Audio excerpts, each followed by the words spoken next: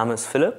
Ich ähm, habe während des Studiums angefangen, Radio zu machen. Das ist jetzt ähm, ungefähr zehn Jahre her. Habe ähm, dort als Redakteur gearbeitet, als Moderator, habe die Musikredaktion geleitet und ähm, habe danach äh, im richtigen bezahlten Arbeiten ähm, in der Pressearbeit gearbeitet von einem äh, Hosting-Unternehmen, ähm, habe hab Social Media äh, Marketing gemacht und arbeite jetzt im Content Marketing für äh, Sys11, das ist ein Cloud Provider aus Berlin. Presse- und Öffentlichkeitsarbeit bedeutet, dass du im Austausch bist mit Leuten, die den Medien gehören, die etwas zu sagen haben, die Einfluss haben, die ähm, von Leuten gehört werden auch. Das sind ähm, Zeitungen zum Beispiel, das sind Online-Magazine, das können aber auch ähm, wichtige Leute aus Social Media sein, das können auch Politiker sein. Das heißt, ähm, Presse- und Öffentlichkeitsarbeit funktioniert so, dass du mit diesen Leuten in Kontakt trittst, mit diesen Medien und ähm, ihnen dein Thema verkaufst, äh, in Anführungszeichen verkaufst, und äh, sie dazu bringst, darüber zu sprechen. Wenn du ein Projekt hast, ähm, zum Beispiel ein Konzert, du hast ein Konzert geplant und du möchtest, dass Leute da hingehen, dann würdest du über Presse- und Öffentlichkeitsarbeit versuchen, Leute wissen zu lassen, ey, das gibt es. Und du würdest darüber sprechen auch, wie die Leute, du würdest auch sagen, das ist was Gutes, das ist eine tolle Veranstaltung. Das heißt, du würdest bestimmen auch, wie die Leute darüber denken und sprechen. Social Media ist ein tolles Medium, weil dort kann sich jeder ausdrücken.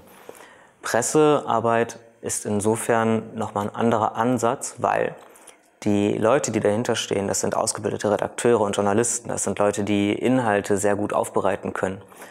Und ähm, Pressemedien ähm, genießen eine bessere Wertschätzung.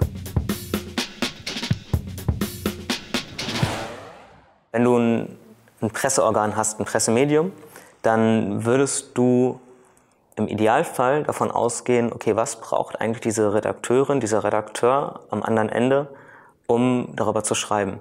Das heißt, ähm, du würdest zum Beispiel eine Pressemitteilung vorbereiten oder du würdest ähm, Bildmaterial anliefern, du würdest vielleicht ein Video spendieren dazu. Du würdest Anreize geben, ähm, die dieser Person hilft, über das Thema zu sprechen. Und ähm, je einfacher das ist, desto besser ist es. ganz platt, du schickst einen Text, der über dein Produkt oder deine Idee spricht, schickst du an eine bestimmte Person, die das veröffentlichen soll. Ähm, jetzt ist es so, dass diese Person auch einen Arbeitsalltag hat. Die hat sehr, sehr viel zu tun ähm, und ist vielleicht auch ein bisschen faul oder gestresst oder hat einen schlechten Tag. Das heißt, du willst es dieser Person so einfach wie möglich machen und ähm, schreibst eine Pressemitteilung so, dass diese Person die einfach veröffentlichen könnte am besten. Ich würde immer mit dem Wichtigsten anfangen und dann immer mehr in die Details reingehen. Und bei einer Pressemitteilung wäre das ähm, nochmal eine weitere Unterstützung zu sagen, okay, ich habe die drei wichtigsten Punkte, die tue ich äh, in Bullet Points ganz oben an den Text rein. Der Titel, der weist schon direkt auf das Thema hin, der nimmt die wichtigste Aussage heraus oder den Nutzwert, den ich habe, das Besondere des Textes oder des Themas. Und dann gehe ich in den Text hinein und äh, versuche möglichst ähm, eine klare Sprache zu haben auch. Ähm, denn was viele, viele Zielgruppen gemeinsam haben, ist, dass sie sehr faul sind, was Lesen betrifft, dass ähm, sie sich auch nicht große Mühe geben wollen, um etwas zu verstehen. Das heißt, ähm, ich kann noch so klug sein und trotzdem bin ich sehr faul. Und ähm, ich brauche deswegen einfach einen Text, um überhaupt etwas lesen zu wollen.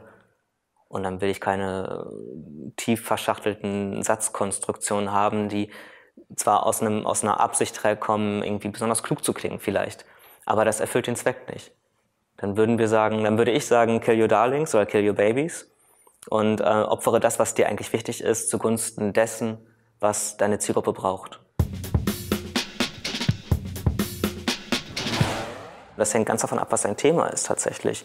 Wenn du jetzt ein, ein Hip-Hop-Konzert zum Beispiel aufbereitest oder vorbereitest, dann würdest du nicht ähm, in ein Fachmedium gehen, das äh, für, für einen Fleischhandel irgendwie da ist. Das heißt, du würdest dann eher mit einem Musikmagazin sprechen wollen.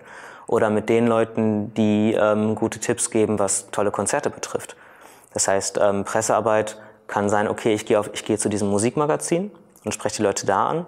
Oder ich gehe in den Bereich Social Media zu ähm, den Magazinen oder Personen, die ähm, im Bereich Musik ähm, Achtung genießen oder viele Follower haben. Ich glaube, dass Social Media mehr über sogenannte Incentives funktioniert. Das heißt, ähm, viele von diesen Influ von den sogenannten Influencern würden gegen Bezahlung arbeiten. Das heißt, du würdest denen 50 Euro in die Hand drücken und sagen, sprich mal darüber und dann machen die Personen das. In Wahrheit kostet das ein bisschen mehr.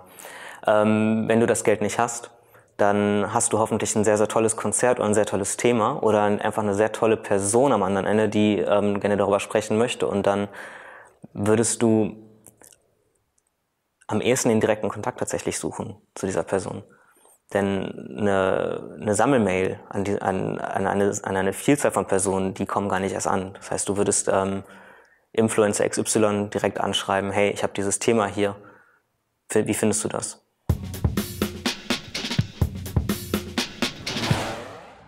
Das Schwierige bei Social Media ist, dass ähm, kein Kanal ewig halten wird. Facebook war früher super erfolgreich und heute krähen da nur noch wenige Hände nach. Ähm, auch gerade bei einer jungen Zielgruppe ist Facebook nicht relevant. Ähm, da würdest du eher zu Instagram gehen oder Snapchat äh, suchen. Ähm, das heißt, gut ist, da flexibel zu sein, wirklich das Medium zu nehmen, wo du deine Zielgruppe ähm, triffst tatsächlich. Ähm, nur weil Facebook da ist, heißt es das nicht, dass es dir weiterhilft. Ähm, was du unterstützend haben solltest oder was nicht schadet, ist sowas wie eine eigene Website oder ein eigener Blog wo du selber unabhängig Inhalte veröffentlichen kannst, die dann über Google gefunden werden, weil Google ist tatsächlich etwas, was sich halten wird. Und deswegen ist äh, Suchmaschinenoptimierung heute auch so wichtig. Ähm, und insofern sind auch Blogbeiträge zum Beispiel sehr hilfreich, um bei Google gefunden zu werden, um bei verschiedenen Themen auch ähm, Keywords zu liefern, nach denen dann gesucht wird.